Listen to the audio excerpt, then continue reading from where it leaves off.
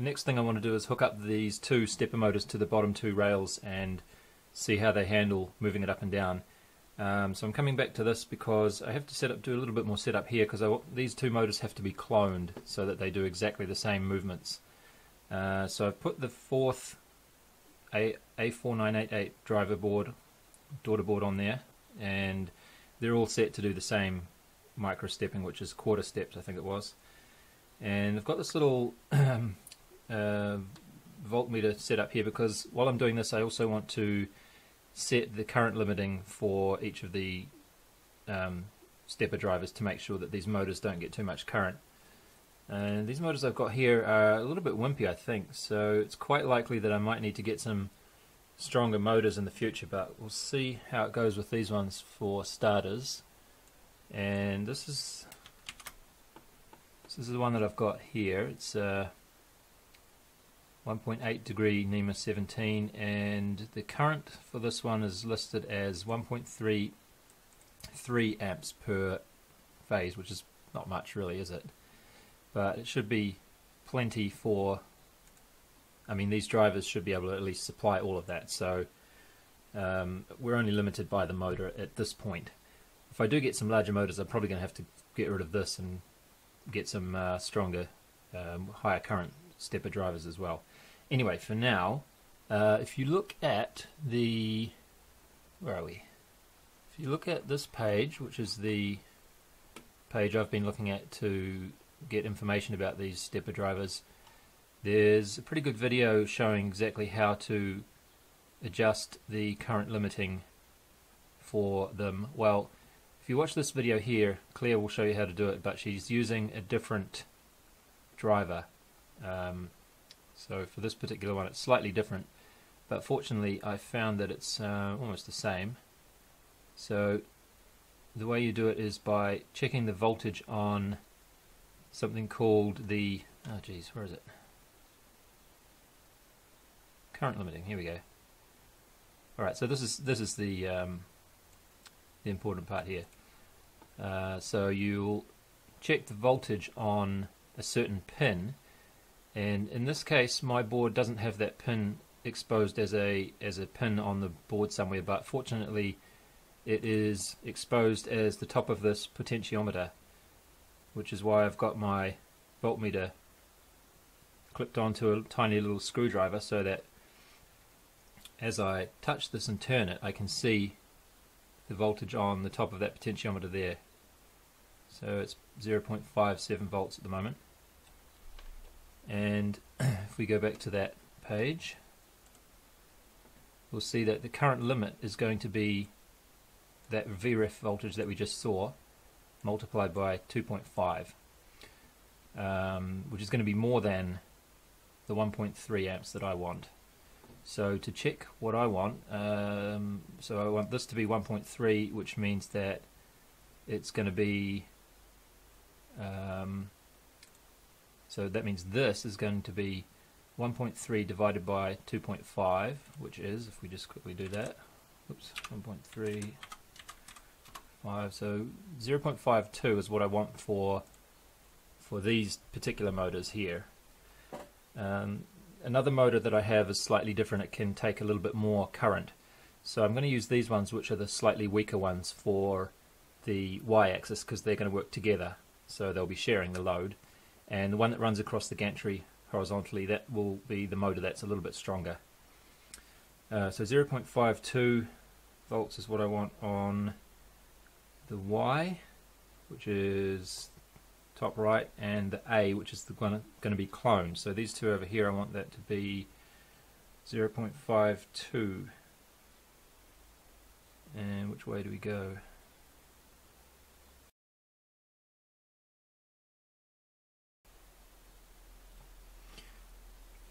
Okay, that'll do. And the other stepper motor that I have that I bought ages ago is one of these, Sainsmart blah blah blah. And then uh, that when I looked that up it seems to be made of a little bit sturdier stuff because this one can take 2 amps per phase which means that we are going to be looking at 2 divided by 2.5 oh, 0.8 hmm That's going to be right on the limit of these, isn't it? What do they say these can do? 2 amps per coil with sufficient additional cooling. Alright, so let's let's make it a little bit lower than that. Let's make it 1.8 amps. So 0.72 volts on the y axis. Oh no, on the x this is. 0.72. And then for the z axis, I think that motor is the same as these others, so I'll make that 0.52 as well. Okay, so that's all hooked up now. Seems to be working alright. And as I mentioned in one of my earlier videos, to clone one of the axes to the A axis, you need to connect these jumpers on the left hand side here. So you can see the second row is Y axis. And I've just put a couple of long um, wires to connect those. I'll probably make something a little bit tidier later on. Could probably even just put a little bit of solder bridge across them to connect them. That might be tidy enough and if I try this you'll see that they move in unison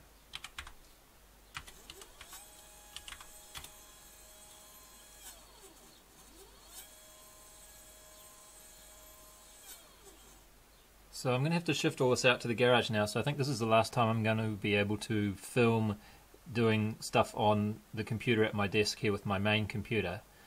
And so I'm going to take this laptop out to the garage and set it up there to use to jog the motors up and down and check that everything's working alright. Um, so I've been getting the environment set up on this computer and while I was at it I looked into a little bit more convenient way of controlling the motors and first thing I came across was this thing called G-Code Sender which is a uh, Chrome web app so you can get this from the Chrome web store and it just fits into your Chrome browser and I couldn't get it to work on Linux unfortunately not even as the root user not really sure why it wouldn't connect to the Arduino, but on Windows it works okay, which is fine because this is the computer I'm going to be using anyway, which is Windows. And so this is working quite good. Seems to have a bug when you click on here that it goes to not a number there. but you can fix it by grabbing hold of the slider and moving it. So you can just change the distances of each jog click like that okay so everything is all set up now seems to be okay you can hear a little bit of rattling from these lead nut uh, constructions somewhere in there not sure exactly what it is I think it's just that the screws are a little bit loose but I don't think it's a problem because they don't really need to be tight.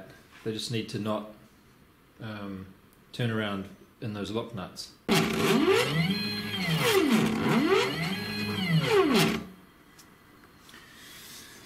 So uh, I found that I could tighten everything up and it would be fine except for this last oops this last little grub screw in there.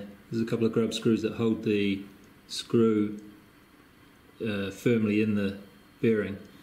And if I tried to do those up, I got a little problem. Um, not sure if it might be actually this lead screw is a little bit bent, maybe, but it would sort of kind of move like this a little bit as it was winding, just a tiny little bit. So I'm just going to leave this undone. These screws are here, solid, so it can't move up and down and off side to side, but it can move. Sorry, it can move just a little bit that way within that bearing, but I don't think that's a problem because it's fixed solid at that end.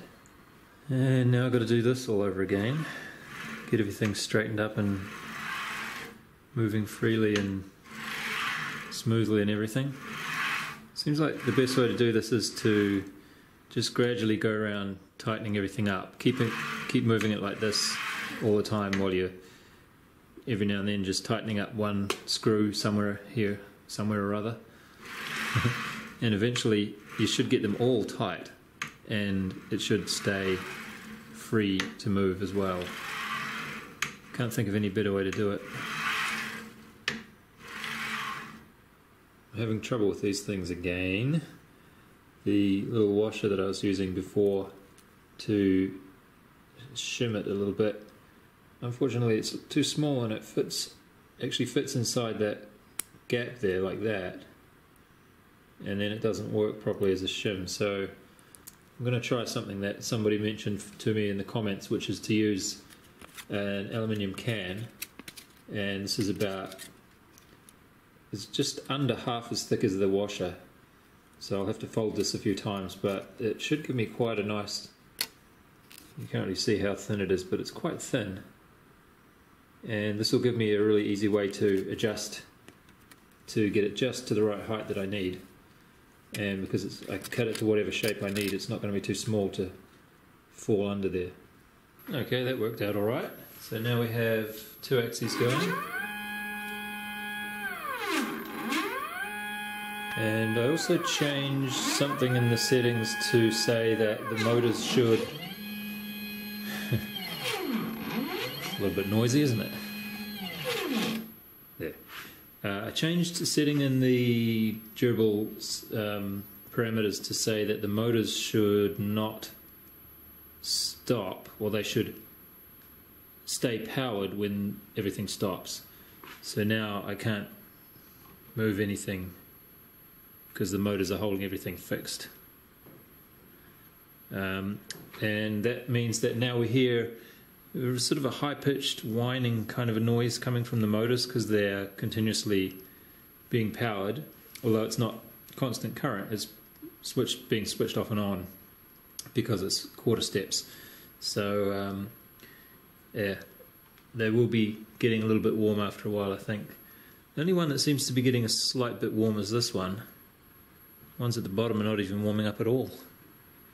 Um, but the side effect, of course, is you get this kind of whining noise that's really becomes quite irritating after a while. So I think I would only be turning the power on at the last moment um, before I start to run it, just because it's a little bit irritating. So I'm not sure if you can hear that noise, but I'll switch it off here. When I switch it on, sometimes I get a bit of a twitch from the motors. Uh, I guess it depends if they were out of that step position when you turn it on, it would twitch them a little bit to get them into that position that they're supposed to be in. Just getting the last axis on now. It's looking good. It's fairly smooth. Okay, got this one on now. Motor's all set up. Everything looks good. As usual, took two or three times to uh, put it on, undo it all, adjust something, put it on, undo it, adjust something, put it back on, etc. Anyway, it looks good now, and I discovered the key functions for this too. So you can just hit a hit the arrow keys to move move things.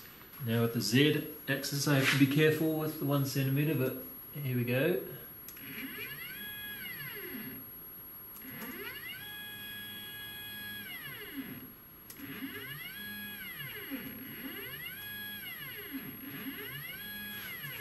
Sounds good. The other ones don't sound so good. They sound a bit scratchy, vibraty rather.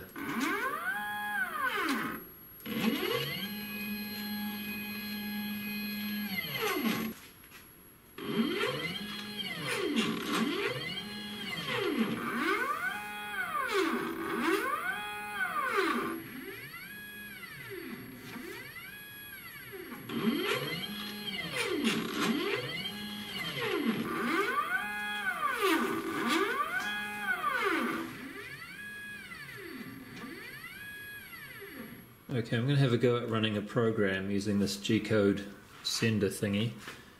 G-code viewer, it actually says there. Um, so I just drew this in QCAD, just um, sample test shape kind of thing. And then I've used Estlcam to generate the G-code for it. And then I just saved that as a file and then you can, in this G-code sender program, you can open that it's got load file there so I just selected my file and it shows up down there what do I do now connect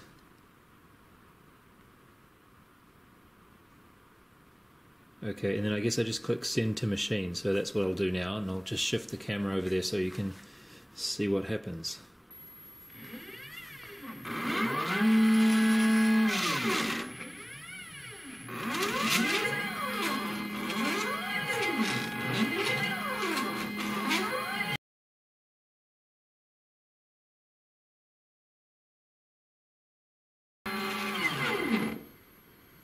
Okay, oh, that's great. it's kind of vibrating. Like like I said, the lead nut thingies over there seem to be rattling around a bit, but it did exactly what it was supposed to do.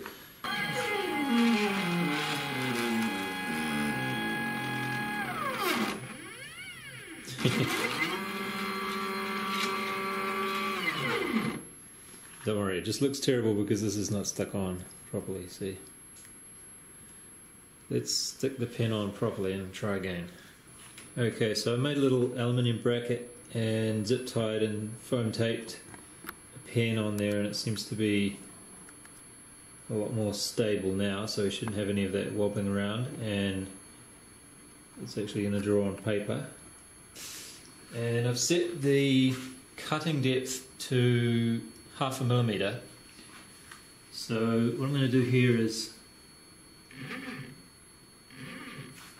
jog this down to what looks like just under half a millimeter above or just less than half a millimeter above. That might do it. Okay so at that point now I'm going to reset the Arduino which I think that that would now it thinks it's at zero zero zero. So hopefully this is going to work.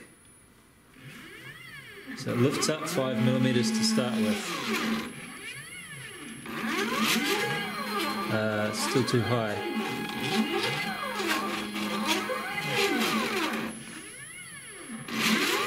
Oh, better safe than sorry, I suppose. Okay, so take two, 0.8 millimeters now.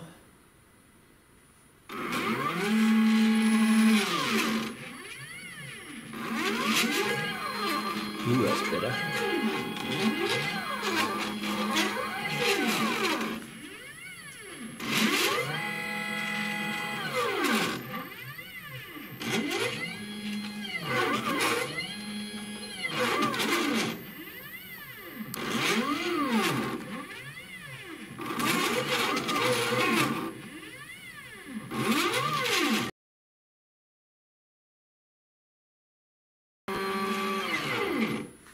Nice.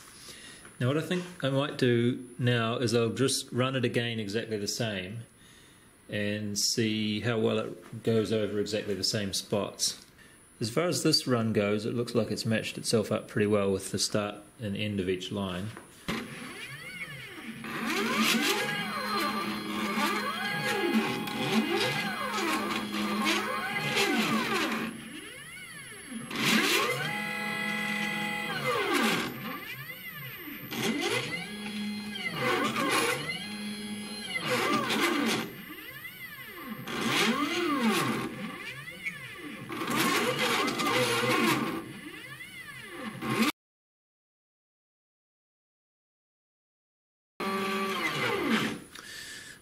Okay, I'm pretty happy with that.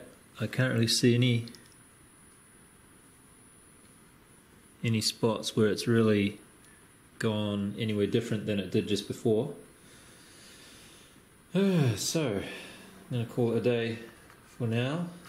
Okay, it's the next day now, and I thought I might try measuring how the accuracy of this goes and do some more testing, maybe with a, like a test pattern or something like that can't be too big because I don't have my limit switches on and I don't want to you know drive it into the edge of the rail or anything. Uh, but I thought what I could do with this for a start is draw a parallel line around the outside, or the, actually it might be the inside. Um, so I haven't moved it since yesterday, so I think I can get this right. But what I'm talking about is we come over here, um, look at this for a moment. So I measured that dimension there. It should be 28 millimeters, but when I measured it, it's 29 millimeters, and I think that's okay because if we look at Estlcam, we'll see up there that the settings for the end mill that we're using is one millimeter diameter. So that's a radius of half a millimeter, obviously. So that'll be, be half millimeter high at the top and half millimeter low at the bottom. So that is 29 millimeters. So I think it's pretty pretty accurate as far as dimensions go. Um, so what I'm going to do is reverse these uh, tool paths.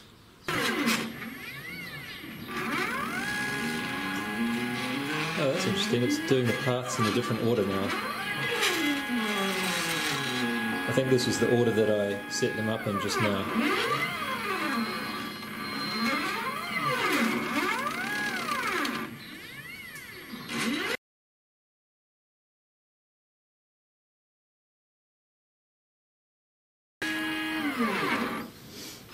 Cool. I just noticed that Estlcam also has an engrave option, which is neither outside or inside. It's actually on the line. So we're now going to try putting a line right in the middle of these two lines. So there'll be half a millimeter spacing between this and the other two.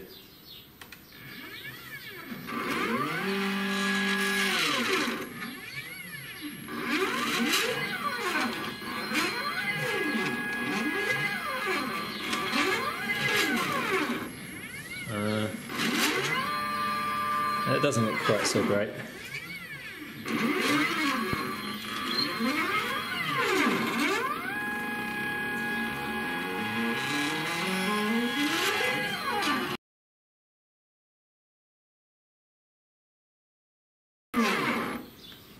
The pen might be moving a little bit, but it's not bad.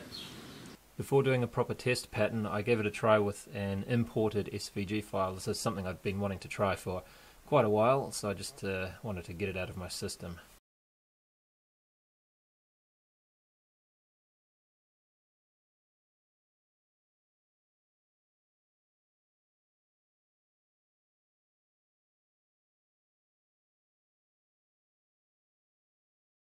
Well, that turned out alright. Um, some parts the pen didn't draw, but it's not a matter of the pen not being pressed against the paper because I can see the little ridges where it's pressed. So it was like the surface is pretty nice and flat. And that bit there it didn't draw either. Apart from that though, seems really good. It's a tiger, just in case you couldn't tell. So then I made up a proper test pattern in QCAD. This is just one I made up myself, but I've seen a few around, and I think the general idea is you want to check how it draws different angles of straight line and some curves, particularly concentric circles. Um, again, some of the ink didn't come out of the pen properly, but that's not a, not really a problem with the CAD machine, uh, with the CNC machine. Um, and I also have a bunch of things of set distances, so those lines there are a millimeter apart and the blocks around the edge are one centimeter apart, so these should be values that we can measure later. So here are some close-up pictures of those uh, outcomes that should give you a better idea of what uh, they turned out like. And you can see that some of these lines here have been done quite well. There's only a half millimeter between these two lines, so it's, it's doing alright considering the pen was moving around a little bit. Actually, it did not move in the x-axis, so the x is horizontal here, and you can see when it's predominantly moving in the x-axis direction, it's actually pretty good.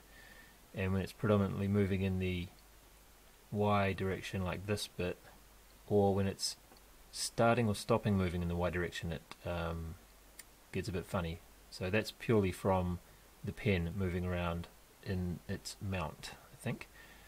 Um, and so this one here, um, in this photo it may look a little bit not quite square, but that's just because of the way the camera took this photo. It's not directly above it and has a little bit of um, offset, or what do you call it, diagonal angled from the camera to the paper.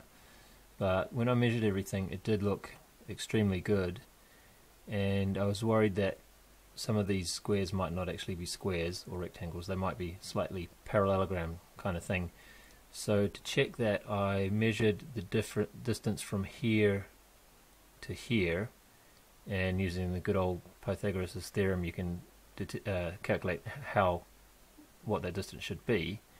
And I measured from corner to corner and then opposite corner to the, that corner. And they were exactly the same and they're exactly what they should be too. So I'm really quite happy about that um, yeah that's the dimensions. Uh, yeah so the again um, the ruler doesn't look like it matches here because of the way that the camera took this photo. So this mark is actually on that one. And the end of the ruler is on there but you can see it's to, off to the left there and it's off to the right there. But um, take my word for it it matches up pretty well. So these squares here are one millimeter. Um, and these are one centimeter looks like they're pretty good there's a little bit of a wobble here which I think maybe from the pen moving in its mount um, not really sure but I'm, I think that the precision that we've got with that many steps per millimeter. It's 100 steps per millimeter. I don't think it's the steps precision causing this wibbly wobbly bit here.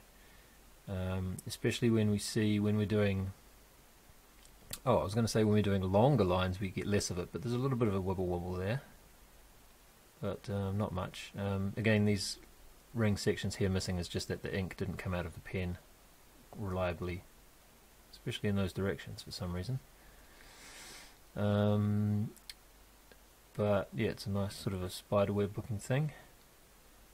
Um, not much else to say about that really. I think it uh, all turned out quite nicely.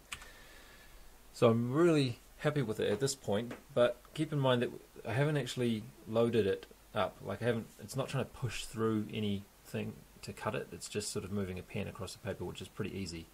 So we're not really, you know, setting ourselves any kind of a challenge at this point. But I'm still quite happy with how it turned out with the accuracy and uh, everything being square. So next time I think I might set up the limit switches and um, maybe even put the spindle on and do a bit of hmm, who knows maybe even cut something next time. Not sure what will happen but um, we'll get there when we get there. So thanks for watching. See ya